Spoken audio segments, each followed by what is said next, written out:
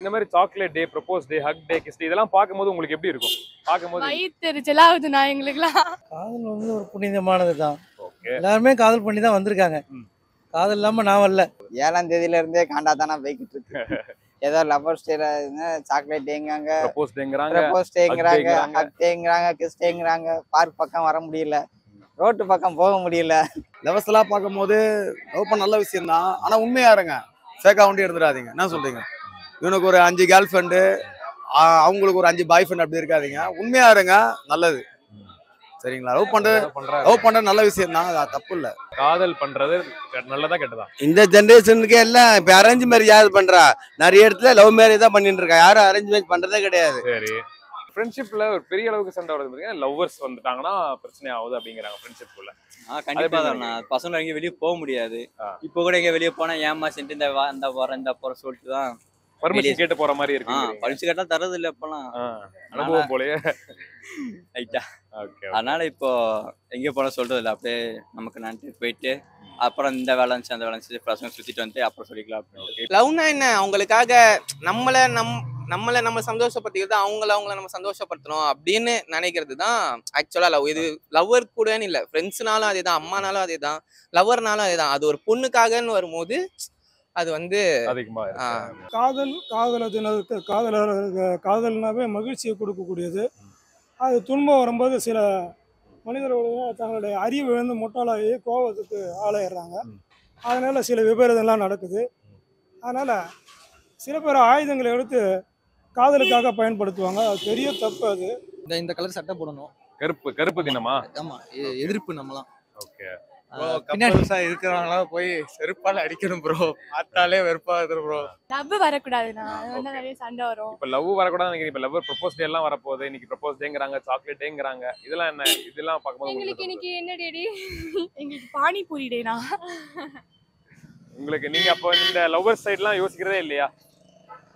ஃப்ரெண்ட்ஷிப்ல இருக்க வரைக்கும் லவ் பண்ண ஆரம்பிச்சிட்டாங்கன்னா அதுக்கப்புறம் அந்த ஃப்ரெண்ட்ஷிப் நீடிக்காதுண்ணா.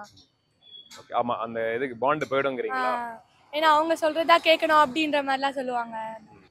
எல்லாம் அதே தான் பண்றதுலாம் கரெக்ட் தான். நம்ம பண்றது அவங்க பண்றாங்க அவ்வளவுதான்.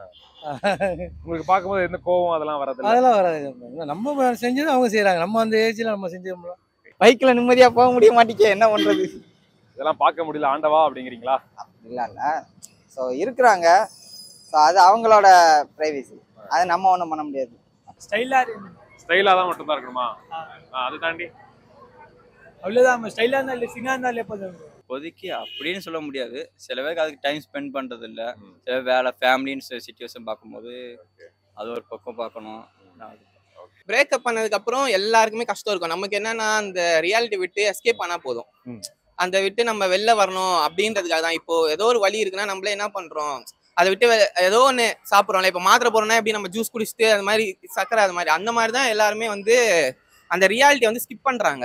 ஒரு ட்ரக்ஸோ ஏதோ ஒன்று எடுத்து அந்த ட்ரக்ஸ்னா வெறும் ட்ரக்ஸ்னு இல்லை ட்ரிங்க் எல்லாமே. ஆ பேட் ஹேபிட்ஸ் எல்லாமே. அப்படி அவங்க எடுத்து அந்த ரியாலிட்டியை ஸ்கிப் பண்றாங்க. அந்த ரியாலிட்டி ஸ்கிப் பண்ணிட்டாங்கன்னா வீக்காக தான் ஆகிட்டே போவாங்களே தவிர நாளை பின்ன எப்படி இதை விட பெருசா எவ்வளவோ இருக்கு இன்னும். நாளை பின்ன அதுவும் ஒரு பொண்ணுக்காக அவன் அவனே மாத்திக்கிறான்னா அவன் அவ்வளோ வீக்கு என்னை பொறுத்த வரைக்கும்.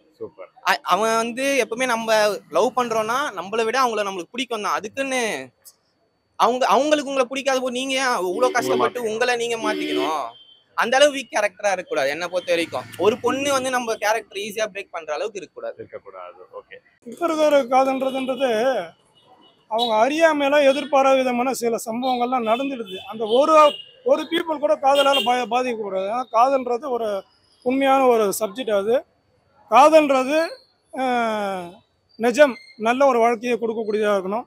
ஆனால் அரேஞ்ச் மேரேஜ் நைன்டி பர்சன்ட் அது சக்ஸஸ் ஆகுது. அரேஞ்ச் மேரேஜ்லயே ஆகுதுங்கிறீங்களா? ஆமாம் அரேஞ்ச் நீங்க அரேஞ்ச் மேரேஜ் மேரேஜா இல்லை பொதுவாக என்னோட கணிப்பு. காதல்ன்றது வந்து ஒரு உணர்ச்சி வசமாக ஒரு அழகை பார்த்தோ இல்லை ஒரு ஒருத்தங்க ஒரு பெண்ணுக்கிட்ட ஒரு பணத்தை பார்த்தோ டக்குன்னு அவங்க போய் கேஷ் பண்ணணும்னு பார்க்குறாங்க வேலை செய்கிறதுல ஏன்? அறிவில்லாத பிற- பிற மாமனார் கூட சரி. பிரேக்கப் பண்ணதுக்கு அப்புறமா ஜிம்மு போய் வெயிட் லிஃப்டிங் போட்டு வெறியா பாடியை ஃபிட் ஆகி வந்து நாங்களாம் வந்து ஒர்க் அவுட் போடுவோம். இவர் வந்து சாப்பிடுறேன். சாப்பிட மாட்டாரு. சொல்லுவான். போன் எடுத்துட்டு. வீட்லயே அவ தான் முக்கியம்னா வீட்டை விட்டு வெளியே போ அப்படின்ற சொல்ற அளவு கூட பண்ணுவோம். அந்த அளவுக்கு இம்பார்ட்டன்ட்ங்கிறீங்க